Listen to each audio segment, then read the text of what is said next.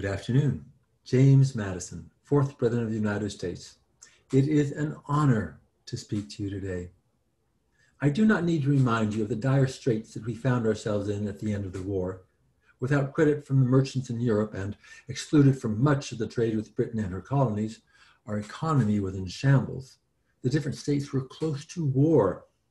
Then, my dear friend Alexander Hamilton and I convinced Continental Congress to allow a convention to address the deficits of the Articles of Confederation. Now, one way to do that is to throw them out and start all over again, but we didn't need to tell Congress that. So I invite you to join me in an exploration of the founding of the United States through my eyes.